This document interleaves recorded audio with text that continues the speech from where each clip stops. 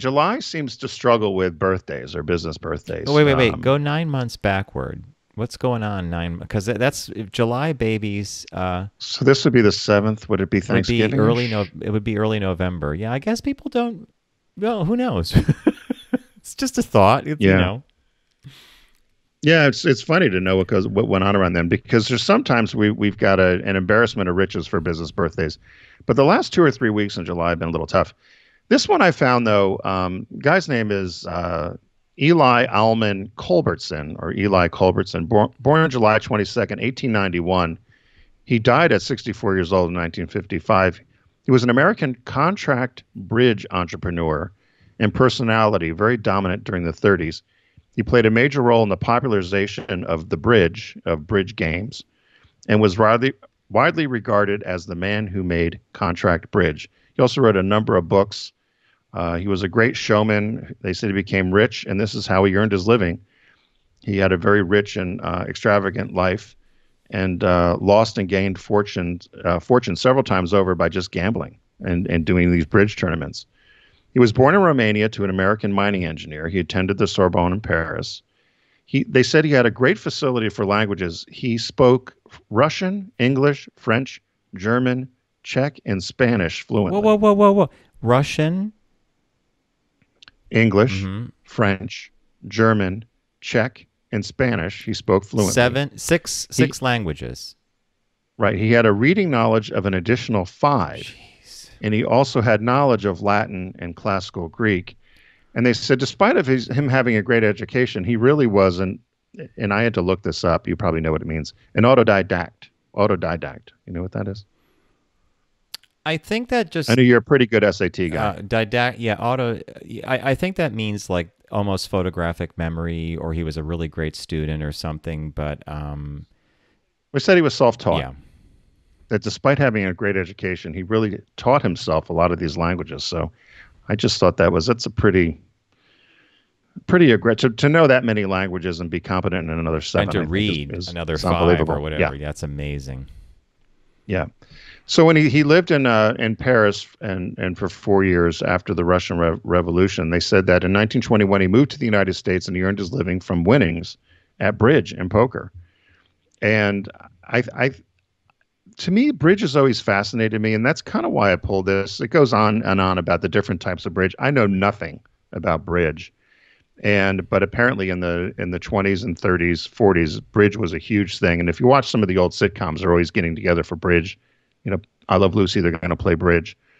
Um, well, bridge is a pairs game. It's very points based, and you have to keep track of all the face and and numbers, right? Like it, there is a lot of thought that goes into playing bridge. Am I right? Is there strategy too? oh yeah, no, it's, it's thought, strategy, skill. I've never played. Have you Nope, ever played it all. or tried to play it? I'm showing the picture now that I- you provided of the book that he did for Penguin, Contract Bridge.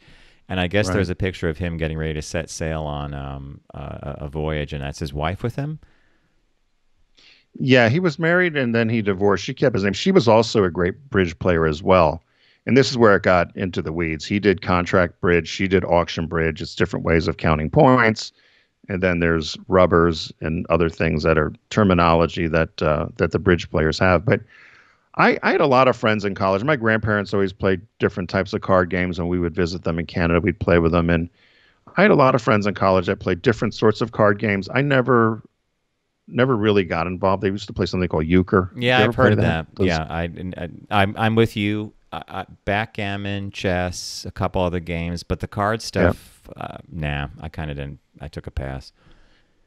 So, so aside from him, and then kind of a sidebar, aside from him having um, being such a prolific bridge player and, and known for that, he owned the very first firm of playing card manufacturers developed the plastic cards, the cards that had the coating on them. Mhm.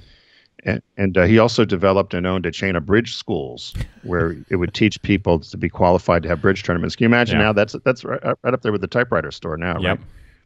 Going to go out of business. And uh, he wrote a book. One of the last things he did is he wrote a book, which I thought was would be interesting to read. Now it was written in 1943.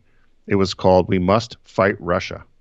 I'm sorry, 1947. We must fight Russia, and uh, it was about all of his knowledge of Russia and uh, and world peace and how Russia was a problem.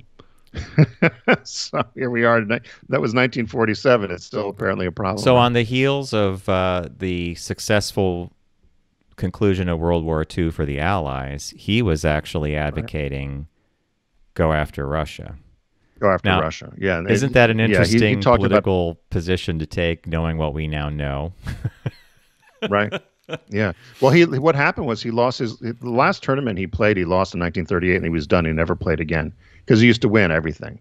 And the first time he lost a major tournament, he didn't play again. He wrote two books, one called Total Peace, which was published in 1943, and the other one, We Must Fight Russia, in 47.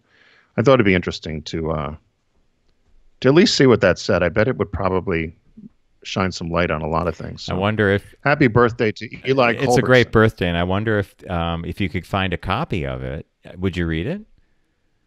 We must fight Russia. You know, I'd probably skim through it.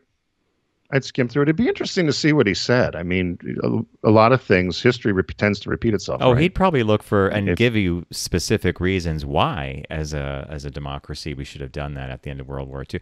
That he's not the only one. I wasn't it like a couple of generals. Patton may even have been one of them. It's like, okay, let's push through because these folks. yeah, we we took care we took care of Germany and Japan. Now let's let's. I know Russia was on your side for a while, but let's take care mm-hmm. of it. Mm-hmm. Yeah, no, that was yeah, that was uh, that was advocated. Right? Oh yeah, yeah, that came up a lot. Excellent business birthday.